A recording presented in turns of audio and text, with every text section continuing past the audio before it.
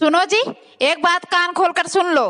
आज से इस घर में जो कुछ आएगा वो पंद्रह दिन तुम्हारे पास रहेगा और पंद्रह दिन मेरे पास रहेगा। हंस क्यों रहे हो? अबे अगले महीने तेरी बहन आ रही है। पंद्रह दिन तेरे पास और पंद्रह दिन ए, ए, ए। अबे यार एक बात बता तू इतनी खूबसूरत नौजवान औरत है तूने इतने बूढ़े आदमी से क्यों शादी कर ली? इसके दो कारण हैं। कौन कौन से? पहला उसकी इनकम और दूसरा उसके दिन कम चलो बताओ दुनिया का सबसे अच्छा आदमी? तुम्हारे पापा? दुनिया का सबसे बुरा आदमी? मेरे पापा? दुनिया की सबसे अच्छी औरत? तुम्हारी मम्मी?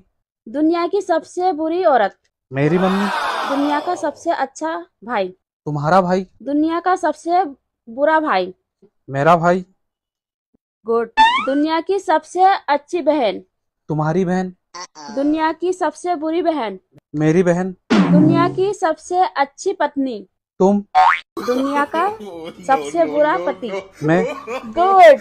तुम सब कुछ सीख गए हो। दस साल लगे तुम्हें सिखाने में लेकिन तुम्हें सब कुछ याद हो गया। है ये दिवाली की सफ़ाई कितनी देर करनी है? मुझे बहुत तेज भूख लग रही है।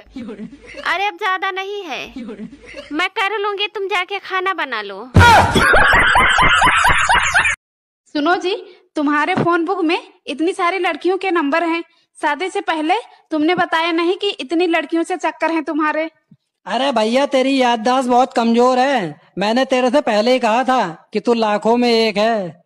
अब तू नहीं समझी तो मैं क्या करूँ? पड़ोसी की लड़की भूखी है ये किसी को नहीं पता होता। लेकिन पड़ोसी की लड़की किसी लड़के के साथ भाग गई है ये सबको पता होता है। ये है आजकल के लोग। अबे यार एक बात बता तू इतना परेशान क्यों है? अबे यार तेरे से क्या बताऊँ कल मेरे गाँव में ना आग लग गई। सामान के साथ साथ ना बकरी भी जल गई।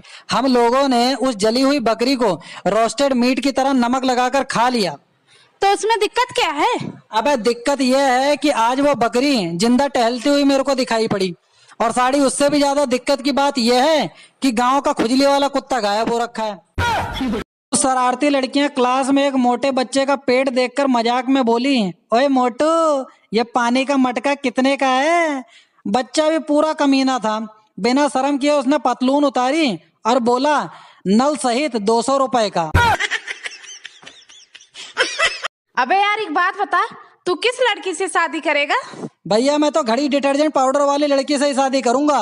क्यों? क्योंकि भैया वो कहती है पहले इस्तेमाल करो फिर विश्वास करो।